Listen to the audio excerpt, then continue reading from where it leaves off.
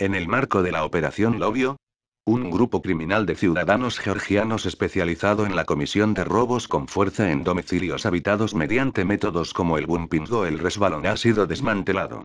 La banda estaba asentada en la localidad de Alcobendas. Según ha informado el Instituto Armado, el grupo actuaba totalmente coordinado conociendo a la perfección los hábitos de los habitantes de las viviendas seleccionadas para el robo.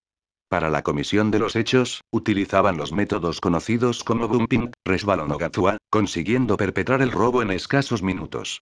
No obstante, eran expertos en utilizar el primero de los métodos reseñados, consistente en la apertura de los cilindros de la cerradura utilizando para ello el golpeo de una llave tipo bump. Los lugares elegidos para robar eran pisos de bloques de viviendas de elevada altura, ubicados en zonas residenciales de clase media. Hasta allí se trasladaba una parte del grupo, donde uno de ellos se encargaba de acceder al lugar, colocaba los marcadores de plástico y averiguaba si la vivienda estaba ocupada o no en el momento de ir a cometer el robo. Para la apertura de la puerta, contaban con expertos en el uso de las prácticas reseñadas, y en pocos minutos lograban hacerse con suculentos botines, entre lo que destaban joyas y material informático.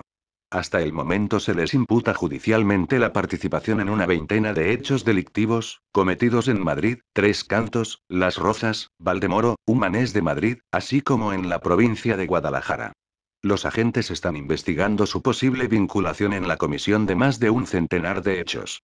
La investigación dio comienzo el pasado mes de octubre, en el marco de los seguimientos que realizan los agentes de los grupos especializados en los hechos delictivos que se cometen en la demarcación de la Guardia Civil, y que tenían una similitud idéntica a un grupo organizado desmantelado ese mismo mes, integrado por ciudadanos georgianos.